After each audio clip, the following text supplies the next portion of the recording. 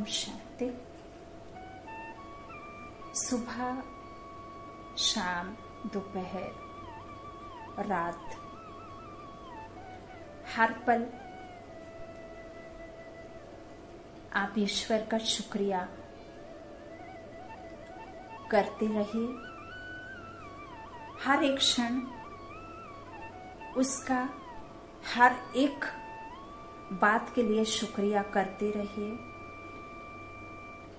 यह भी एक तरह का पुरुषार्थ है, जो इस संसार में आत्माएँ दूसरी सुबह का इंतज़ार तो करती हैं, लेकिन वो आत्माओं को सुबह के दर्शन या सुबह देख नहीं पाती हैं।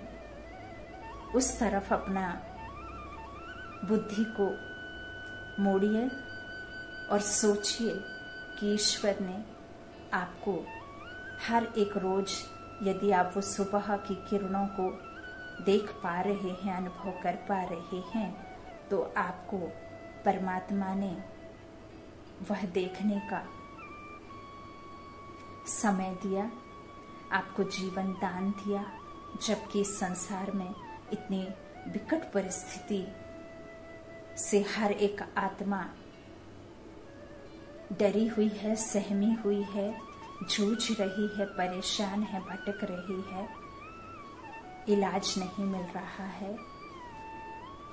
उसके बावजूद भी यदि आपको यह सब मिल रहा है तो हर क्षण हर पल ईश्वर का शुक्रिया करते रहिए।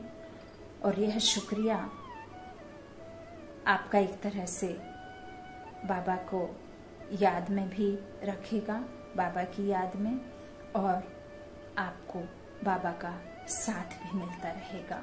तो बाबा का हर दम हर बात के लिए, हर एक प्राप्ति के लिए शुक्रिया शुक्रिया करते रहिए। ये शुक्रिया में बहुत शक्ति है।